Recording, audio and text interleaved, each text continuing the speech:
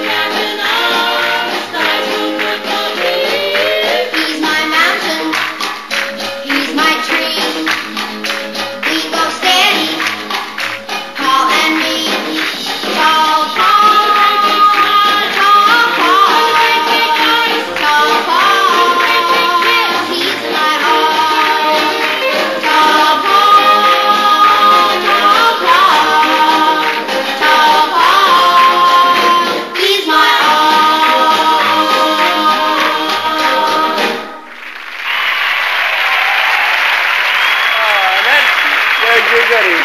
Thank you very much. Oh, she got caught in the rain today and, uh, you know, shrunk down just a little bit. Diana Ross at a place called the Daisy here in